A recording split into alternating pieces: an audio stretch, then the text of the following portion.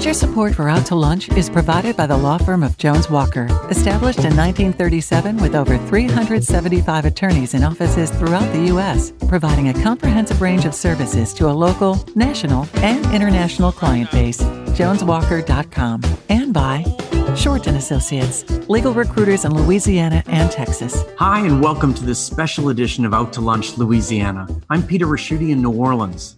I'm Stephanie Riegel in Baton Rouge. And I'm Christiaan Mader in Lafayette. Normally, we're the hosts of Out to Lunch in our respective cities, but during the course of this current public health crisis, we're joining forces to bring you a statewide look at what's happening in the world of business and finance. We're sharing this current crisis with the rest of the country and much of the world. So, some of what we're going to look at is big picture stuff to try and make sense of what is going on globally and nationally. But we're mostly going to focus on how this current health crisis affects our local economy and our personal finances here at home. Normally, we're very conscious of the differences between our three areas of the state New Orleans, Baton Rouge, and Acadiana. But we're going through this crisis together. And I think you're going to find that as we explore the challenges facing us, at least for right now, we have more in common than separates us. One of the things we have in common is none of us are actually out to lunch. We're all quarantined in our respective homes or offices. Normally, I'd be hosting out to lunch New Orleans at Commander's Palace. While Commander's is closed for dining, they're doing pickup and delivery. Their pickup and delivery menu changes daily, and you can find out what's available by going to their website, commanderspalace.com. In Baton Rouge, our regular out to lunch restaurant, Mansur's on the Boulevard, is doing pickup and delivery. You can get a number of Mansur's signature dishes. Your favorite one is probably available. The best way to enjoy a meal from Mansur's is to give them a call. Their number is 225 923 3366. 225 923 3366. In Lafayette, the restaurant that hosts us for Out to Lunch in Acadiana, the French Press, is doing curbside takeout. And you can also get meals delivered directly from the restaurant or through Waitr and Grubhub. The French Press now has a family dinner menu, and you can reach them at 337 233 9449. That's 337 233 9449. Now, we often hear the era we're living in right now is described as uncharted waters. That term comes from people who navigate the seas using charts, basically maps of the ocean with known impediments to sailing, like, like reefs. While it's true that most of us have never lived through a worldwide pandemic, we have lived through the ups and downs of the stock market. Some of us are old enough to have been through more than one of these swings. The only thing we always say when the market sinks is if you hold on, everything will be okay. The market will go back up. But the cause of this global financial crisis is something none of us have experienced a global health crisis. So, are we in fact in truly uncharted waters and where the old rules might not apply? To answer this question, let's turn to Ricardo Thomas. Ricardo is with the financial consultancy firm Thomas Waddell and Associates in New Orleans. Ricardo, here's the multi billion dollar question Is it all going to be okay this time if we just hold on? Or is there something different going on here? Well, Peter, I think given everything that's going on, there's a tendency to panic and and wonder will uh, things return to normal? But the reality is while the coronavirus is different we have uh, in the past dealt with various other health uh, viruses and so forth. So i do believe that things will return to normal. It's just a matter of time. Well is it a what do you view this as? Is a major turning point on how people view stocks in general? For instance ricardo my my parents grew up in the depression and we course, never talked about stocks or anything like that at the uh, at the dinner table. Is does this change things forever? I don't think it does at all. I mean, we're living in a time now where all of us are being asked to be more responsible for our retirement planning. Uh, to the point of your parents, they probably grew up uh, with the old defined uh, benefit pension plans you know, on the job. Now we're living in the era where most folks have the 401k, where you're having to make the investment decisions as to how those monthly dollars are allocated or even the the allocation of the dollars that your particular employer may put set aside for you. So it really causes us to be more engaged and involved, but it's a matter of having proper information and not panicking, especially in times like this. Emotion usually causes us to make rash decisions right now that end up coming back to haunt us in the long term. Sometimes you've heard it said that the best decision is no decision in a situation like that. Uh, is that one of the things you're telling Absolutely. clients? One of the things, I mean, obviously, we're prone to staying close to our TVs and radios right now to get uh, current information on the virus. But at the same time as we're getting information on the virus and how to properly cope, we're inundated with a lot of information as to what's going on in the stock market. And because of that, in and of itself, it will cause people to pay more attention and possibly panic because they really don't understand everything that's going on. When in reality, right now, given how far the market has gone down, it's really uh, kind of too late to do anything now. So it's a matter of riding out the storm, or if there are dollars available in cash, taking advantage of some of the bargains in good companies that are available out there right now. And that's what I was going to ask you, Ricardo. I mean, what is it that drives people to start buying at this level? Well, the thing is, again, is making sure they stick to their their investment fundamentals. Investing, which is quite different from speculating. You know, you we can go down the street in New Orleans on Poydras to speculate. It's called the casino. But investing uh, really requires a long-term strategy, and we're talking about four to five years or longer. So that being the case, even right now, you have to stick to those fundamentals, take emotion out of the equation, but also still adhering to the proper selection process as it relates to the type of assets that you put into your portfolio. So, whether you're using individual stocks or bonds, or even the different types of mutual funds and so forth, those same principles that applied 30 days ago still apply today. Are there any red flags, Ricardo, that, that we should be looking for? And like, is there any level that this that the market could go to that you would say, okay, wait a minute, this isn't the same kind of same kind of system that we've known and, and been able to apply these rules of rationality to all along? Stephanie, that's a good question. And the reality is, right now, given how far the market has already come, and also looking at the volatility and the volume of what's going on in the market right now, really you're starting to see a bit of a sea change where folks, the smart money, as I like to call it, has already started looking for bargains and opportunities to uh, to go out and rebuild their portfolios. So for the average person, really, if you're in mutual funds or if you employ or deployed proper uh, investment strategies beforehand, it's literally right now just riding it out. There's really no safe haven, if you will, to run to at this point. I mean, the damage is done, you know. And and as I was telling a client yesterday, if if all of industry and all of the companies go out of business anyway, what are you going to need money for? you know, where are going to use it? So it, it's really a, a, a, situation of just writing it out. And m- most importantly, I'll add, is if we look to history uh, as for guidance, if you will, history has shown that industry is at the top of the totem pole. I mean, when we look at the response from government and so forth, it's always about getting these companies back uh, running and operating because we need their goods and services, but we also need them for employment. And so when we look at that, and especially here, given that we are in New Orleans and uh, we came through Hurricane Katrina, we know the number one mandate was getting companies and businesses back up and running, which included the Superdome, which really changed the tide of as it relates to recovery. So that's the thing we have to look at. As long as we realize that companies are in business to make money, then all we have to do is follow that trend and invest wisely. So so what I'm curious about is is what's what in your mind is actually going to be the pivot point where the markets respond positively? Is it going to be when you know the Congress gets its act together and puts a stimulus package into place? Is it going to be whenever the U.S. or Louisiana or whatever, it, you know, kind of stops producing the, the same number of cases on a basis? I mean, what is the market actually going to respond to in terms of positive news that would give you know folks who have money tied up there, especially you know nearing retirement, of uh, the belief that things are actually moving in the right direction? Well, I'll, I'll say all of the above. So let's let's start with the the last question first.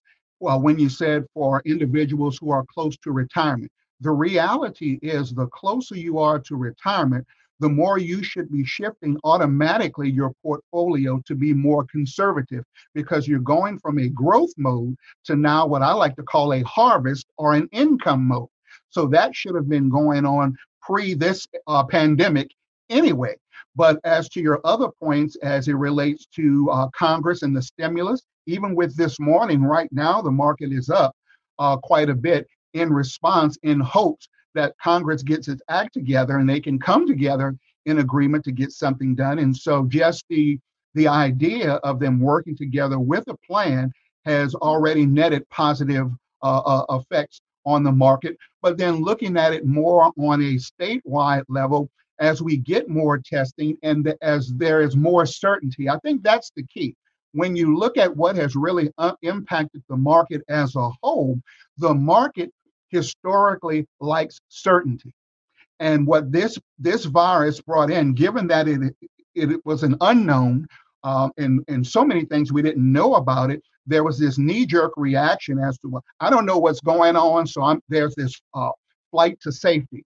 But as we get more testing, as we get more aware of the symptoms, and most importantly, eventually come up with some type of of uh, a vaccine or what have you, then that's going to instill confidence for folks to get off of the sidelines and get back out in the market. But the reality is, the last point I mentioned, from a retirement standpoint, you know, whether you, when you're looking at least five years out or more, nothing has changed. I mean, the reality is, history has shown that there have always been bumps in the road. We can go all the way back to Black Friday in 1987, to the dot com bubble in 2000, to 9 11 in 2001, to the mortgage and bank crisis in 2008 and all the various different things that have gone on in between. And, and so that number one tells us is that there is no perfect road. There is no perfect, you know, uh, uh upside. It's not going to always be peaches and cream. So as long as we stick to our fundamentals and having a good game plan, we should be fine. And Ricardo, one of the things that makes us look a little different is people are talking about the recession being more severe and maybe shorter or at least uh, um, at least it's sort of appearing that that's the way it might be now. What do you tell people that are thinking, "Oh, I'm going to time the market. I'm going to get in just at the bottom"? There is is that kind of a fool's errand? You know, there is no perfect market timing. There are different steps and strategies, such as dollar cost averaging, that is very prudent at times like this when you can take advantage of the cheaper price prices of various different stocks or even mutual funds but as far as anyone trying to you know guess the market in those perfect times i'll put it this way uh, as successful as warren buffett has been for so many years he still hasn't been able to perfectly time the market so if buffett can't do it none of the rest of us can. and one last thing, Ricardo, I think of 0809. And one of the things I remember that was so difficult is when people got out, they never got back in and they missed really a tremendous 11 year rally. How do you deal with that with clients? You are absolutely right. And that really goes back to my first point of taking the emotion out of it.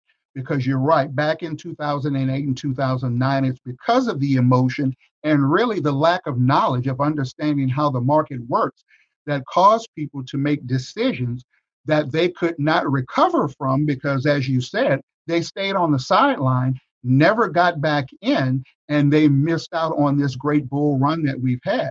You know, so my job really has been uh, talking folks off the ledge, if you will, and utilizing history as a guide and saying, remember what happened in 2008 and 2009 and and just reminding them of the old adage of the definition of insanity keep doing the same thing and expecting a different result we can't make the same mistakes that we made in 2008 as far as you know uh, throwing the baby out with the bathwater if you will and not getting back or staying in the market. And they don't ring a bell when it's time to get back in.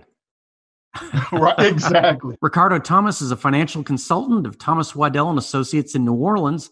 Ricardo thanks so much for joining us on out to lunch louisiana. And thank you for having me you're listening to a special edition of Out to Lunch Louisiana with Peter Ricchiuti in New Orleans, Christiaan Mader in Lafayette, and I'm Stephanie Riegel here in Baton Rouge. One thing you don't need us to tell you is that we're living through a public health crisis. It's difficult for all of us dealing with the disruption to our lives But imagine how much more difficult life has suddenly gotten for people in the healthcare sector. Mike Bertaut is a healthcare economist at Blue Cross Blue Shield of Louisiana, based in Baton Rouge. Mike has been in this position for more than 15 years, and that experience has elevated him to the status of a recognized national authority on healthcare and healthcare reform. Mike, 1.6 million people in Louisiana have their health insurance with Blue Cross and Blue Shield. So let's start with the obvious and most important question. If I'm one of those 1.6 million people and I contract COVID 19, am I covered by any special federal provision or am I paying the standard copay according to whatever personal health plan I have? Yes, uh, Stephanie, absolutely. The first thing you need to know is um, when you go to get tested for COVID 19, there's not going to be any of the normal hurdles you might run across, no prior authorizations. Um, we won't charge a copay or a coinsurance or a deductible if you need to get tested for COVID 19. Um, we're going to take a hard look at the diagnostic tests because we want people as much as possible to follow the guidance of the Centers for Disease Control because we think that establishing that standard throughout the industry will give us our best chance of understanding what the disease is, how it spreads, and exactly what the most effective courses of treatment are. Um, in addition to that, if you don't know if you're affected by COVID, but you're a, a Blue Cross member who has a prescription maintenance medication for blood pressure or cholesterol, please make sure you're getting your scripts refilled. Stick with it. If you need to go early and get them refilled, we're not going to say, oh, it's not long enough. Just go ahead and get it done, and we'll take care of the timing issues right away. Mike, we we've seen so many dire predictions about the you know the the curve of this disease and everything. Have y'all modeled out what the dollar impact is going to be on the healthcare sector and on the health insurance industry. How much is this going to ultimately cost us? Um, well, there's no doubt that it's going to have an accelerated impact on um, the way we spend money. Blue Cross in Louisiana, you know, we're a not for profit. So the market going up and down affects our clients a lot, but it doesn't affect us as much. We um, have spent a lot of time, especially since Hurricane Katrina, building up a strong rainy day fund. And believe me, it's pouring down rain right now, even if you can't see it. So we feel very confident in our ability to continue to pay claims. On a normal day, on a normal month, we're putting about $300 million into the Louisiana healthcare economy. I don't expect that to go down, certainly. Um, but, you know, there's going to be a balance. I've noticed that a lot of people who are scheduling maybe not as critical uh, medical care are putting that aside right now, maybe waiting a little while to make room for this new disease state and the new people coming through. And so I'm not looking for gigantic jumps in the spending right away, but we will monitor that very carefully. My job, in fact, will be to forecast that based on people coming in and out of their insurance as data becomes available over the next few weeks. I'm curious. You know, one thing that that that I that I heard about today was that we're seeing a lot of folks that are, you know, losing their jobs. Some of them hopefully temporarily, and and with that, medical benefits, healthcare benefits, healthcare insurance. So, I mean, how do you expect this to impact the healthcare system generally? I mean, if people start moving on to government plans, if they're moving out of uh, private insured plans, I mean, what's going to happen? Yeah, those are great questions you know, we've managed to build a healthcare system that can't really exist without third party payers. If you don't have a third party backing you up and you have a serious illness, you're in bad shape. Let's face it. So, what we've built, and really a lot of this falls on the ACA, on the Affordable Care Act, we've got a continuum of health insurance that you can access very easily.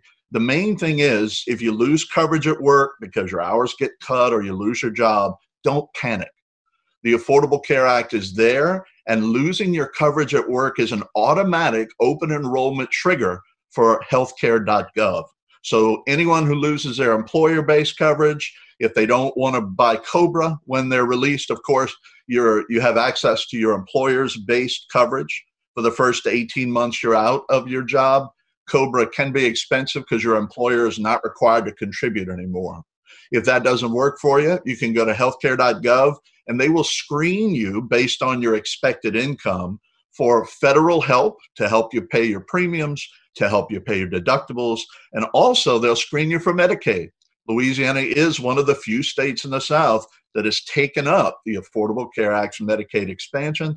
That's a huge deal for the citizens in the state today because it means anybody at 138% of the poverty line or below is eligible for free health insurance through the state. And when you go to healthcare.gov, if your income that you report is low enough, they'll refer you to the Medicaid program. Mike, our healthcare system was already I wouldn't say on the brink, but there were already so many questions and problems. Once the sort of the dust clears from this, I mean, is this going to be the crisis that sort of pushed us towards a new healthcare payer system? I mean, what do you see looking out long term from this? I think it's a little early to comment on major changes down the road. Um, a lot of the things that um, the uh, political campaigns were proffering as solutions they were a little far fetched in terms of financing, in terms of actually working in a situation like the US system. But what, what is going to be very evident is that our system, our hospital system, is going to show up to be much stronger than we expected.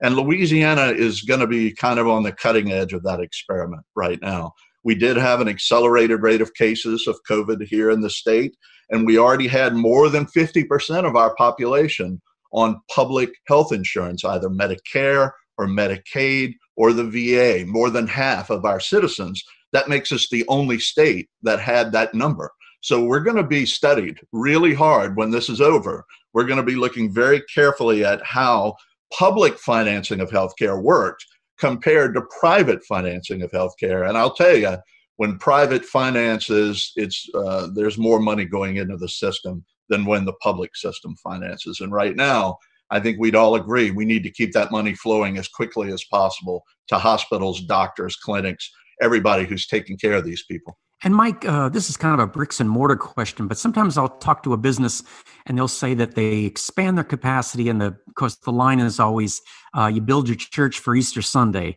And uh, do you think after this we'll see hospitals uh, expand their capacity?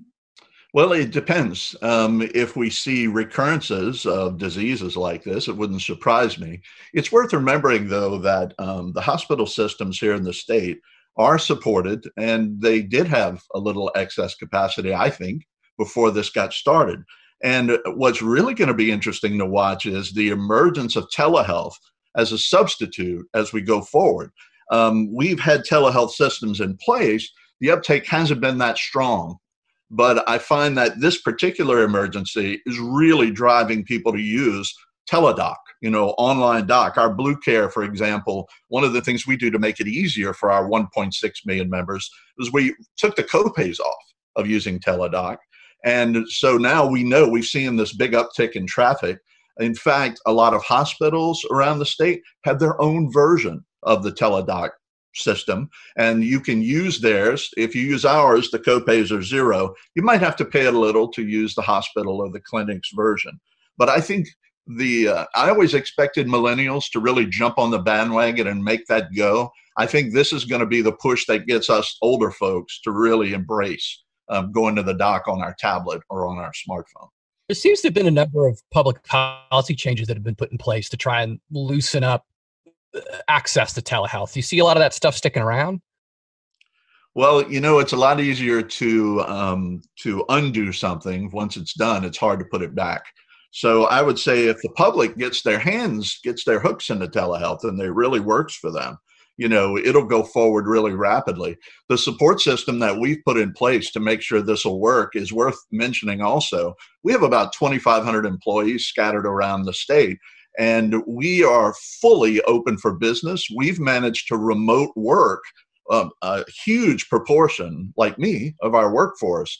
And I mean, if we can work from home, then it would make sense that teledoc is really going to take off and become a more important piece. Waiting in a in a doctor's um, waiting room is probably not the best use of your time every day of the week, right?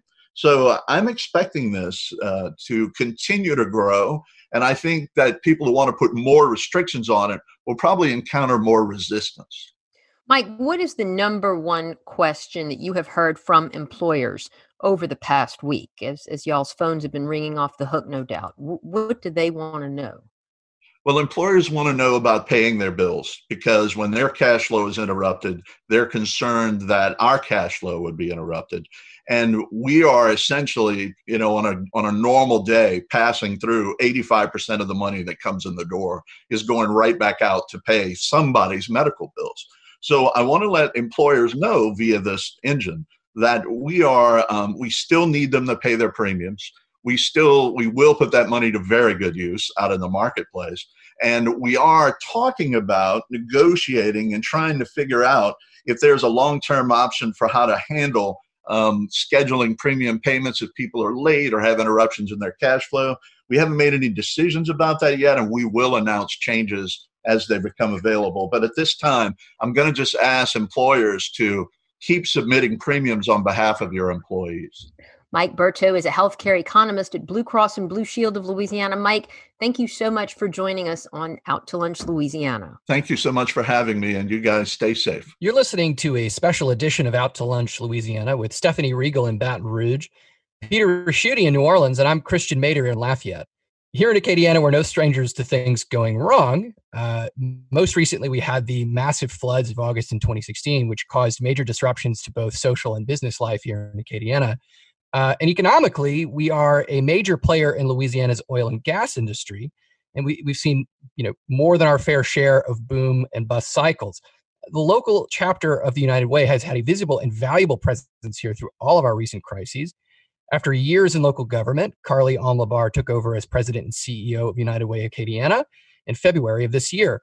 Uh, Carlee, I'm sure when you took over, you had all kinds of plans, and now you know a few weeks onto the job, we're hit with a pandemic, um, the price of oil has you know dipped all the way down to you know twenty dollars a barrel or something to that effect. Um, you know, from your perspective, what's the immediate impact on all this and on Acadiana? Well, I think just like across the state, um, we have people that are really trying to figure out the impact. I think United Way has, as you reference, has a long history in being involved in disasters and you know, South Louisiana, most of those disasters are either a flood or a hurricane, which are just so different than um, how we need to respond to a pandemic. So I think one of the first responses that everybody is having is retraining themselves even what a disaster means. And so by that I mean, you know, we're used to like let's cook a big uh, pot of jambalaya or gumbo or whatever, and let's feed everybody who needs to be fed. Well, right now two things the peak of this crisis probably hasn't hit from a human services perspective but also a lot of our traditional responses that kick in as disaster relief um, because we're in south louisiana are the exact wrong instincts so we're spending a lot of our time right now re-educating people on what what it means um, to be in a disaster like this. Um, you know and i think we've even been of course reviewing some of our disaster plans and things like that. And you know you just um, when you've lived in south louisiana a long time even when you try to write more broadly it's it's your instincts are preparing for flood and hurricane. So it's it's uh it's making sure that we think differently because we're in a pandemic now.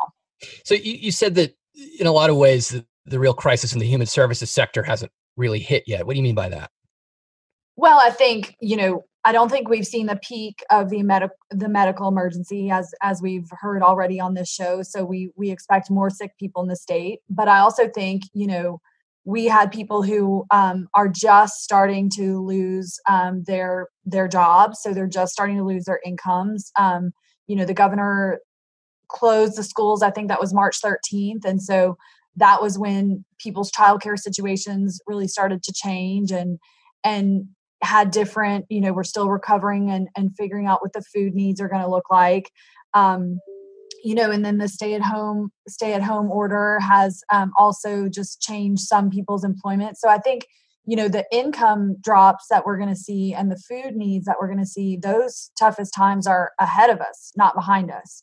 Um, same with the the medical crisis and and Carlee, I, I know in the in the capital region, for instance, you know the capital area United Way has has struggled as its workforce giving campaign has seen you know numbers drop in recent years at a time when the need for the services that the partner agencies United Way funds has gone up, and so this is just going to exacerbate that cycle. That's exactly right, and I mean I think that that's sort of one of the things that we're keeping our, uh, an eye on long term. I mean we see that our job as United Way as dealing helping the community deal with the most acute needs that are out there. But certainly we have our, our eye on the ball of keeping our operations up and running. And you're right workplace giving has declined um, you know and so that that becomes even more critical that, that during this time that we're providing meaningful resources to the community because long term you know this is probably going to take a hit to the sector. Just as an aside, last week, one of the things that we did was hosted a webinar for the nonprofit sector in the Acadiana region to dial in and we we told them look 39 hours of the week 59 hours of the week whatever it is you're thinking about your mission and the people you serve but if you don't spend one hour of the week thinking about your organization you may not be here to serve people in a couple months or you know half a year so we're also trying to at the same time keep our eye on that ball as well because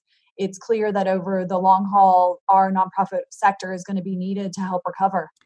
And Carlee, uh, we talked about workplace giving. you'd mentioned that, and of course, that's probably a, uh, an issue all over the country. But you're in a particularly difficult situation. the The oil industry has been down for five and a half years. Some people are saying that this most recent decline might be the death knell for some of these companies. And these were the not only the best paying jobs, but I imagine they were big contributors to you. That's exactly right. And that's, you know, it was very clear um, when I started this job about three and a half weeks ago, or almost, I think we're somewhere in there. I'm losing count at this point. Um, but it was very clear that I was already in a situation because of the local economy where it was a turnaround position.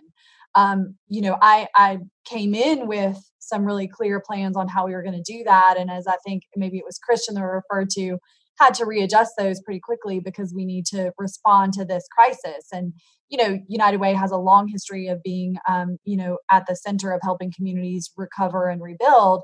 And so I expect we'll be there. But there's no doubt that um, this disaster, both with Louisiana being at the epicenter of the United States outbreak, or one of them, I guess, there's a couple, as well as um, Lafayette and Acadiana's um, recent decline economically, in part, in large part, because the oil industry. You know, we're going to have a lot to recover from. We were already, um, as as Christiaan can share, we were already as a community in a difficult economic time that this is likely to exacerbate. So we certainly are, you know, have our eye on both of those balls. I mean, do, do you look? We, we've seen even in say the newspaper industry, you know, people are furloughing employees. Like it yeah. like every week there's a new industry that this touches in a way that we didn't necessarily anticipate, or maybe we should have anticipated it. I mean, are you concerned that some of these nonprofits that you work with, maybe United Way specifically, is, is going to have to make similarly difficult decisions? I think that all businesses that are making any kind of payroll are going to have to be looking at that. I mean, I can tell you that in the you know short to medium term we don't have plans for that but i'm sure you know one of the other things we did last week was we sent an email out um, to the entire nonprofit sector asking them questions if they were feeling um, comfortable sharing what's your approximate monthly operating budget? Are you feeling like you can cover that for for how long? And what's your employee base? Because you know by some estimates and i don't have the data in front of me but i think we're about 10% of the the economy. And so we're a critical employment resource as well as service provider in the community. And i think just just because we're nonprofits doesn't mean we don't also have to look at our the business side of our organization. And i think you'll see over time as this as this crisis goes on that you know if the donations struggle to come back because of the economy you'll see some shifts in the sector because of that. And some of that could eventually be be staff cuts or you know salary salary decreases or, or whatever needs to be done. Carlee do you see looking out a, a little bit down the road where maybe this and it could be a, a, something of a, of a silver lining or maybe a more efficient way to operate but do you see this maybe forcing more collaboration among nonprofits? I mean i'm just familiar with so many small organizations that were struggling on the best days a month ago right? And and now they're just, i don't know how they're going to make it but maybe this pushes some smaller organizations to, to, merge you know and and we have fewer out there but maybe they're more effective working more closely together. You know having been um uh, having spent about half my career in the nonprofit sector i can tell you that's a con- continual theme is is are we delivering services as, as efficiently efficiently as possible and are we using donor resources as well as we could? And i don't doubt you know the the phrase necessity is the mother of invention. I don't doubt that that's going to come into play in the sector as well. I can tell you like as part of United Way is one of the lead organizations in Acadiana on the on our local VOAD chapter, which is volunteer organizations active in disaster. And I can tell you right now, we're having about 70 different groups call into morning calls where we talk about coordinating resources. So I am optimistic that we'll we'll be able to um, take advantage of overlaps in mission and and hopefully work together so that we can more efficiently deliver on what our community needs. You know, you mentioned earlier that this has caused uh, you guys to really even think about how you're dealing with the delivery of the service, right? If you're collecting food, if you're trying to provide and distribute that food, can you talk to us a little bit about sort of actual logistical challenges that a pandemic, you know, uh, poses when you're trying to deliver essential services to people? Sure. So I'll just I'll give you an example, which um, we we have set up a drive for PPEs, which three weeks ago probably most of us didn't know what that acronym acronym meant, but personal protective equipment for medical um, folks. And so we've set one up here at our warehouse, um, which was you know procure our warehouse is so we can be assisting in disaster and you know we've made it a completely touchless donation system where people can drop off their their masks and their gloves that they may have extra of for whatever reason but we had to rethink mean normally a, a volunteer drive of where we're collecting supplies we've got 20 people out here unloading trucks et cetera et cetera et cetera. But the reality is in a time of community spread that that's not safe. Same thing with your your normal food drives or your normal supply drives. We're having to rethink those. So we're we're revisiting protocols and we're talking really closely with the office of public health to make sure anything that we do start up in the way of uh, uh, supplying food to people um, that we're doing it so that we do not um, do not have community spread after we're done because that that would sort of be the worst case scenario. Um, and everyone's you know everyone's been great but we have a lot to a lot of work to do. Carlee Alm-LaBarr is president and ceo of united way of acadiana. Carlee thank you so much for joining us and out to lunch. Thank you and thank you for joining us for this special edition of Out to Lunch Louisiana. Now, we edited these conversations to fit into the time slot here in your NPR radio station. You can hear the longer versions of these conversations wherever you normally get your Out to Lunch podcast in Acadiana, Baton Rouge, or New Orleans. If you're in New Orleans, remember you can get pickup and delivery from Commander's Palace by going to commanderspalace.com. In Baton Rouge, you can get pickup and delivery from Mansurs on the Boulevard by calling them at 225 923 3366. In Lafayette, you can pick up and get delivery from the French Press, including their new family dinner, by calling them at 337 233 9449. The producer of our show is Grant Morris. Our technical director is Eric Morell. I'm Christiaan Mader in Lafayette. I'm Peter Ricchiuti in New Orleans. And in Baton Rouge, I'm Stephanie Riegel. We'll see you back here next week for more Out to Lunch Louisiana. Until then, if you're an essential industry and still going to work, thank you. And remember to take care of yourself. If you're not going to work, please stay home and stay safe.